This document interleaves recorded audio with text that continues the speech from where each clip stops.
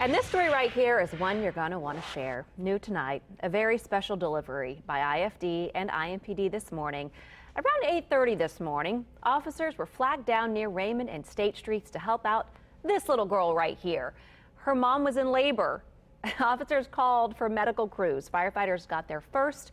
Then, 3 to 5 minutes later, little Willow was born.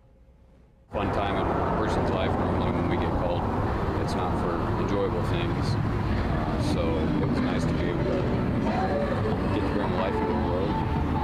See the smile on mom's face. And, I mean, honestly, mom did all the work. Uh, just there to help and assist. Couldn't make him out really well there, but he said it was a really fun time in a person's life. Saw the smile on the mom's face.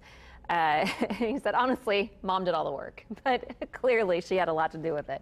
Kaiser says in his 20 years as an EMT and paramedic, this was his first time delivering a baby. Both baby and mother are doing fine tonight.